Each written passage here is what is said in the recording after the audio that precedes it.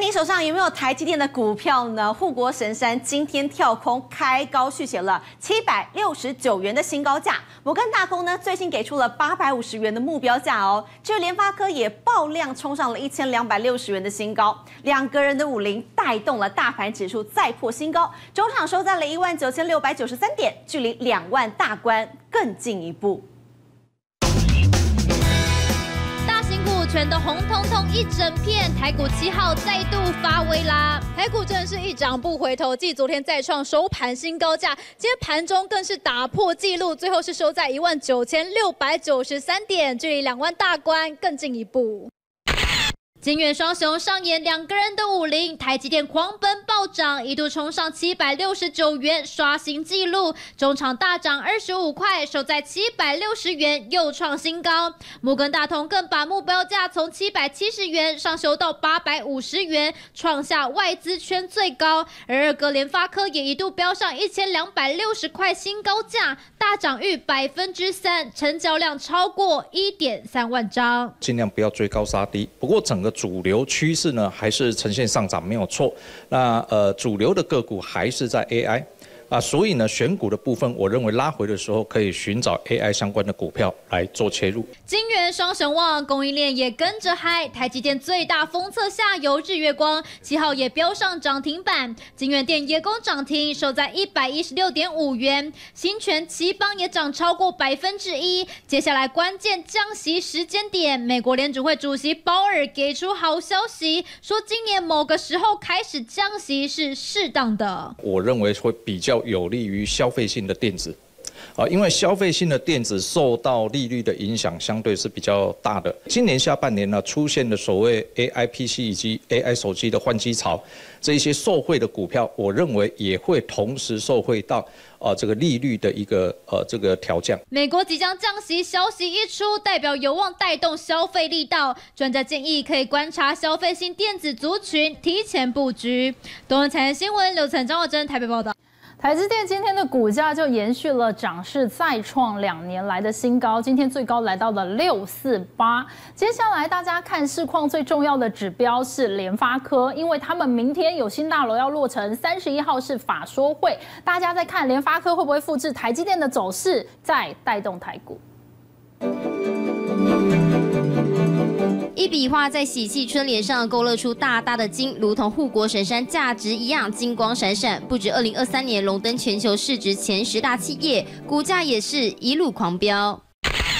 台积电二十九号延续涨势，开高走高，还再创波段新高，收在六百四十八元。不止外资回补认错，还把目标价喊上七百四十元。就连劳动基金运用局也将三成的劳动基金重压在台积电。但有人四金进场，也有不少人趁机获利了结。今年以来有近十万名股东大跳车，也让人好奇，现在会是个好买点吗？有拉回，我觉得都是可以去做一个进场。台积电的这个先进制程的，然后包括二纳米啊，可能有在规划当中啊。那未来它的这个主要客户 NVIDIA 跟 AMD 呢，哈，那提供了 AI 的这个动能哈，所以我认为在呃整个下半年部分哈，那进入到呃整个。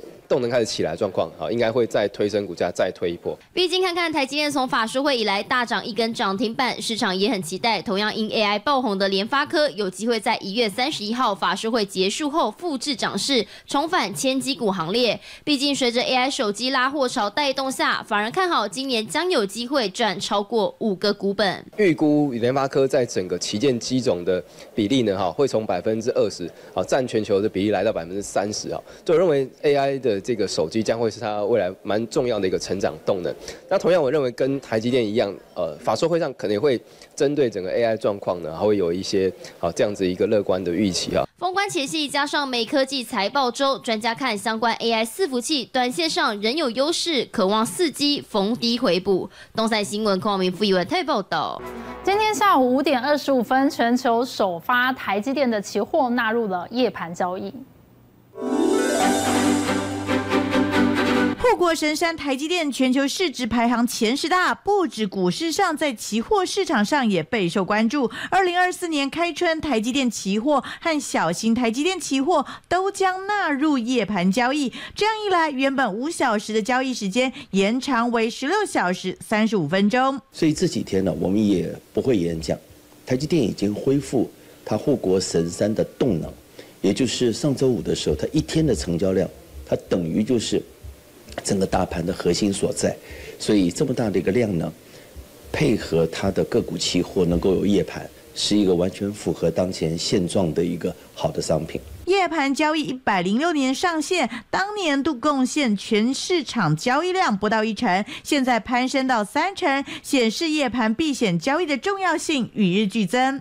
因为台湾像这个每个月十号公布的营收，还有这个台积电的法说会，都一般都在下午召开。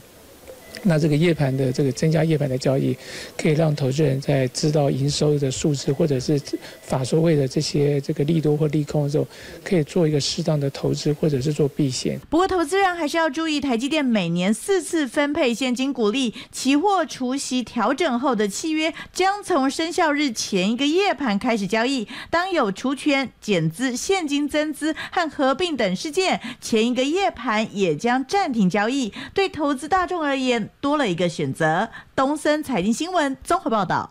台积电进驻了熊本，很多人都直接自己买房子。我们今天就直击的是台积电高层最爱住的社区，房子都是透天厝，那屋内的装潢又是如何呢？我们记者紫金要带我们来揭晓。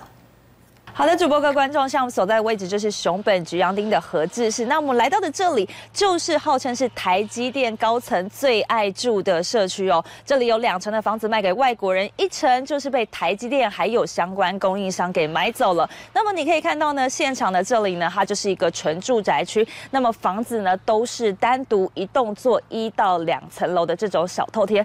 那么其实很特别的是，台湾人也抢进这里买房子哦。像是我左手边这一栋呢。就是台湾人买下的。我们今天早上也直击了他们亲自飞到现场来交屋，而且哦，他们整个家族是一口气包下这里的六栋房子。好，那我们也实际带您进去开箱看一下哦。其实呢，这里的房子的里面都会做一个美式加日式的风格，包括说呢，他们的厨房呢都是一个中岛厨房。那么这一间呢，它是配置了三个房间。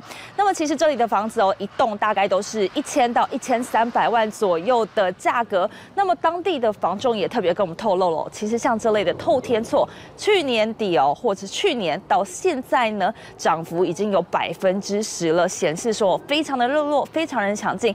台积电到哪之处，这个房价真的都是会闻鸡起舞。那么以上就是现场的最新。